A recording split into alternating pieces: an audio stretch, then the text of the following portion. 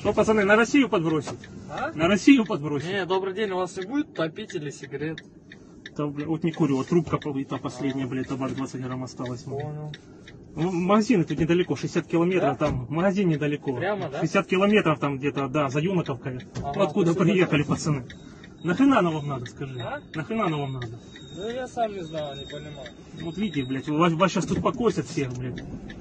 Ни, ни за что, блядь. Нам тут помощь никакой не надо, у нас все хорошо было, мы ж не Донбасс, блядь. У нас все заебись, блядь, дорогу только в прошлом году положили. Возвращайтесь, он, блядь, пл- пленных сколько в Черниговской области уже поздавались, блядь. Потому что тоже повыезжали, Ну это приказ, э, приказ. От главно- главнокомандующего, мы тут ни при чем. я понимаю, если бы главнокомандующий у вас был бы, ну, не адекватный был бы, блядь, ну, в плане обороны, блядь. Ну нахуя нападать на страну, где вы не нужны, пацаны, блядь. Не знаю. А что в Сумах там? Мы не хотим сами. Что в Сумах? Еще раз. В Сумах что там? С ума? Ну, вы же Сум заехали или нет? Я не Вот эта тра- трасса на Сумыш идет. Не понял. Город Сумы. Ну, Вы же с него приехали или нет? а я не знаю. Я Понятно. в БМП сидел, не видел. Ладно. Спасибо.